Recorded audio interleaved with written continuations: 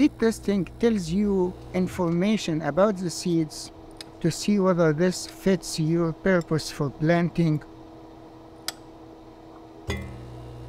For example, when I sell seeds to you and say this is 85% germination and 99% purity, you want to pay money for what you have.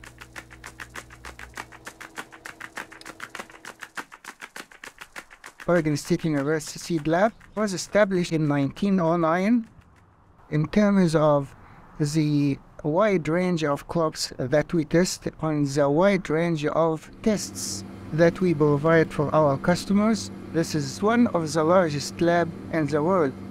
We are gonna go and see the different seed quality tests. There's no one test magically can give you all the information about the seeds. The quality of the seeds actually doesn't start when the seeds arrive to the lab and we test it. it the quality seeds start in the field.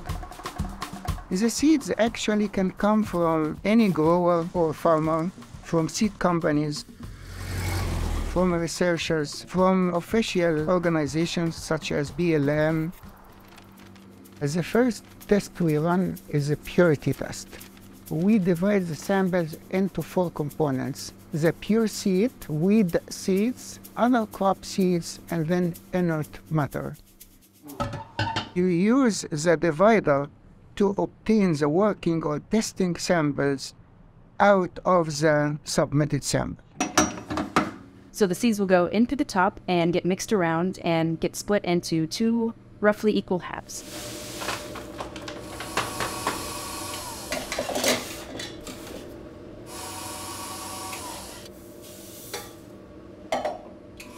So we'll uh, keep taking these halves and we'll keep mixing them down to get our working sample from the submitted sample.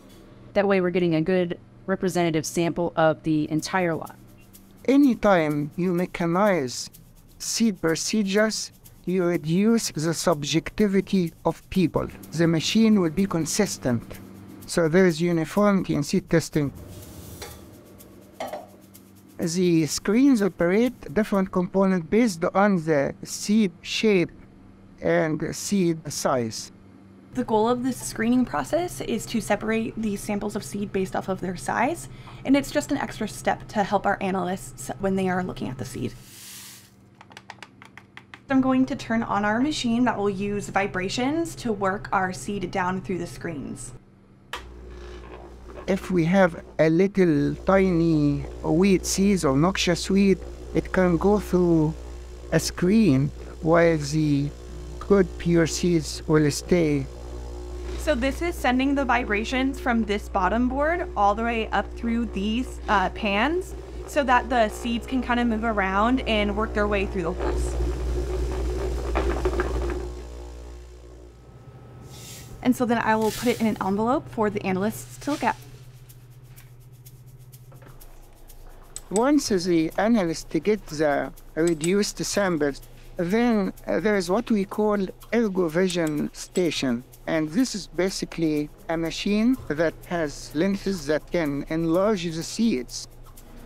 I'll run through the seed, we put it through the, the funnel, and um, just stop and take out the contaminants. A contaminant is a different seed that is not part of the sample that I'm working on other seeds end up in the sample by birds, animals, water, wind.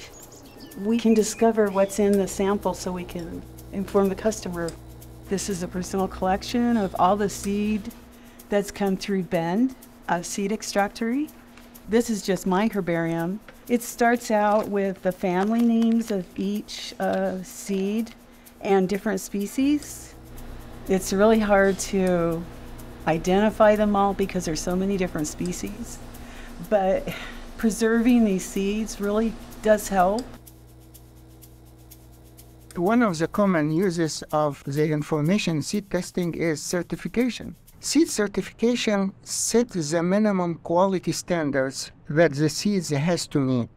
If you have premier seeds, you may sell it for higher price this site here I'm inspecting for a seed collector to collect the seed off of for source identified seed certification. What I look for when I do a site inspection is to see that the species is there, that there's enough seed production potential for the collector to get that number of pounds of seed. The seed company will request tags from us that has all of this information on it, not specifically the GPS coordinates, because that's kind of proprietary information, kind of like your favorite fishing spot.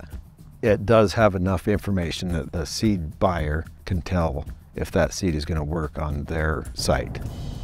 So when we sell those seeds, the customer wants to make sure that the seed that they're buying is adapted to the place that they're going to plant it. The yellow tag source identified program comes into that because the Utah Crop Improvement Association, as a third party, says, yes, I can verify that this seed came from that site, and here's a yellow tag that certifies that claim.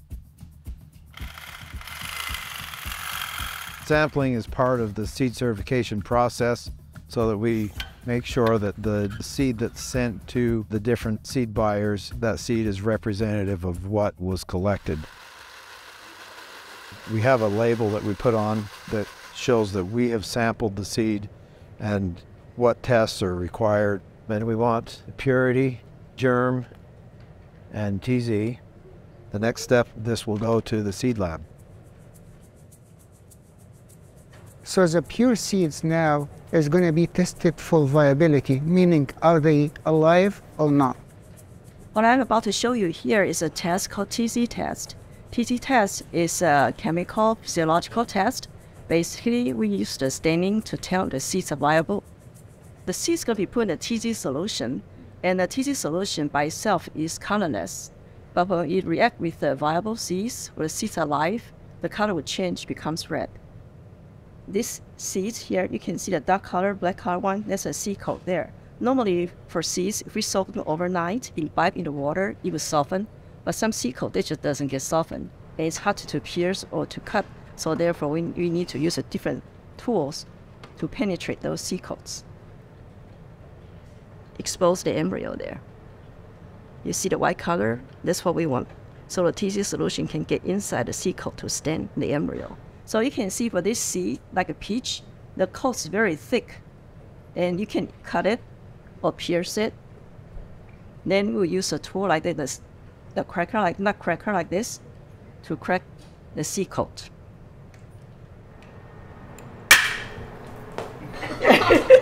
that's the inside embryo, and that's a stone, the outside coat. You can see how thick it is. When seeds are softened, it needs to be pierced in order for TZ solution to get into standing embryo. To pierce, we have different size needle. Two piercing is optimal. Then we can get a TZ solution to send the seeds entirely. After the piercing, now the seeds are ready to be soaked for about 24 hours for staining. So after evaluation, the seeds are divided into two categories. You can see here, this side, the seeds are stained red. Those are viable seeds. That means they're alive. On the right here, unstained seeds, those are non-viable seeds. There is two main viability tests, the germination and the TZ test. And the objective of the uh, standard germination test is to achieve maximum potential germination of the sample. Now Barb is going to show us how she conducts the germination test. It starts in this box, so we just lay the seeds in. We'll put the lids on these and band them all together and they'll go to the germinators. And in seven days, it'll look like this way. That's seven days growth right there. This germination chamber here is adjusted for 1525, which is applicable for uh, cool season grasses. And depending on the rule, we leave it for a week or two weeks, or in some species, three weeks. Seeds is, is, you know, you are contributing to the most important element that keep human being alive. How, how cannot I love it?